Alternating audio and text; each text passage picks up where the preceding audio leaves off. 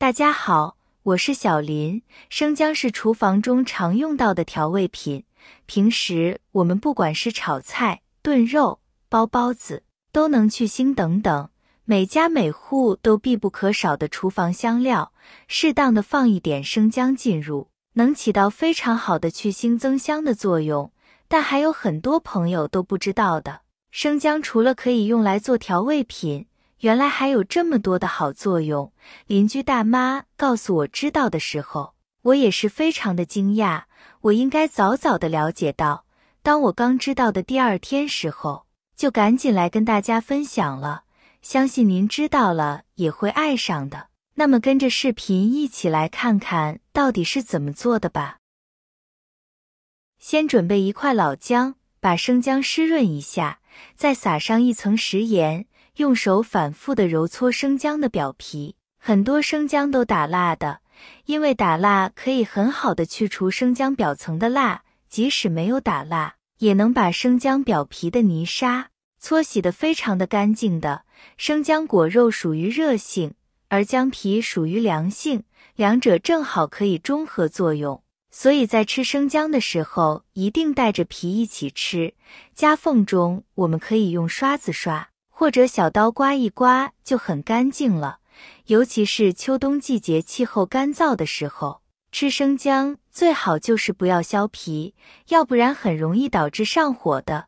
生姜简单处理过后，我们再用清水把姜皮洗干净，多换几遍清水洗。洗干净之后，控水捞把生姜先放在案板上，这时候我们准备擦拭器，还有一个小碗。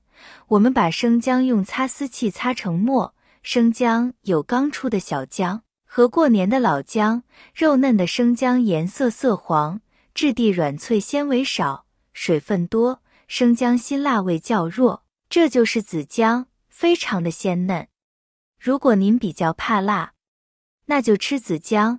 那么老姜的颜色比较深，质地结实，纤维多，水分少。生姜辛辣味强。如果您冬天比较怕冷，入冬要用的话，还是选老姜效果更加更合适。紫姜的保暖效果就相对差一点。把生姜擦成这样的碎末就可以了。准备一个小碗，再准备一个过滤网。我们把姜末放入纱布中。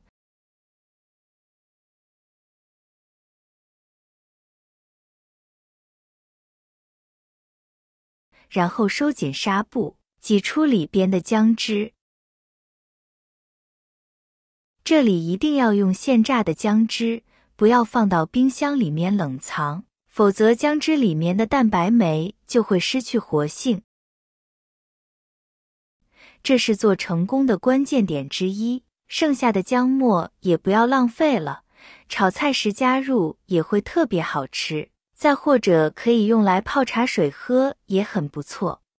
这里我用的生姜一百六十克左右的生姜，得到的姜汁大概有三十克左右，先放在一边备用。接下来准备一袋牛奶，尽量选择纯牛奶。首先，纯牛奶它的纯度比较高，一般用来制作姜撞奶的时候，口感更加的比较好吃。其次，纯牛奶一般都是原味的，里面只有生牛乳，不会添加其他的味道，这样做出来的姜撞奶的口味会更加的纯正的。接着把牛奶倒入锅中，跟着加入一勺白糖，白糖的甜度会更高一些，冰糖喝上去会更加的清甜一些。大家可以根据自己的口味习惯加入冰糖。或者是白糖。接下来，牛奶需要加热，大约到七十度至八十度左右。煮牛奶温度不宜过高，否则会破坏牛奶中的蛋白酶，分离出乳汁和水。全程都需要小火慢慢加热，一定要掌握好火候。家里没有温度计，不知道怎么确定掌握牛奶温度，这里注意看了。当奶锅边开始冒细的泡泡的时候这时的温度就刚刚好了。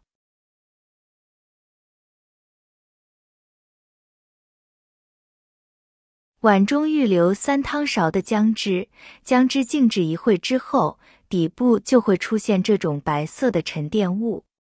我们在加入牛奶之前我爱一定要把沉淀物全部搅散开这样是能和牛奶蛋白质发生凝固反应的关键物。水溶性蛋白质会沉淀在碗底，所以热好奶时一定要先搅拌一下姜汁，最后把煮好的牛奶。慢慢沿着碗边，从十公分左右的高度，迅速的倒入碗中，与碗底的姜汁相互冲撞，动作一定要快，可以使牛奶中的蛋白质和姜汁中的蛋白酶发生反应，然后静置六分钟左右，就会凝结成一碗合格的姜撞奶。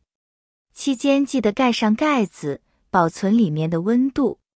如果喜欢姜味浓、口感辣一些的。可以多放一些姜汁。时间到后，我们来检测成功与否了。放上一个汤勺在上面，能承托得住勺子不塌不落，那么恭喜你，您做成功了。接着尝一口试试，奶糊凝结成比内酯豆腐还细嫩的口感，带着姜汁的微辣，哇，真的太过瘾了！因为姜撞奶口感嫩，和豆腐一样嫩生姜奶，热热的姜撞奶只需要十分钟就能做好。冬天来一碗姜撞奶捧在手里，别提有多幸福了。做姜撞奶，我还是比较建议大家选择老姜的。老姜首先鲜辣度比较高一些，另外里面的活性物质会比较多，更加容易使姜撞奶成型。所以，我们用老姜榨出来的姜汁做姜撞奶是最好的。家庭版姜撞奶的做法，你们都学会了没有啊？其实很简单的。好了，家人朋友们，今天的视频内容就分享完了。姜撞奶的要点您记住了吗？快快视频哦！天气越来越冷了，学会给家人经常做吃，暖心暖胃又暖身。特别下雪的寒冷天气。零下的天气，喝上一小碗，一整天全身都非常暖和的，从头暖到脚的，我们人也变得非常有精神的。爸爸妈妈都夸你是好宝宝，哈哈。如果哪里不会的，可以下方评论留言一起讨论哦。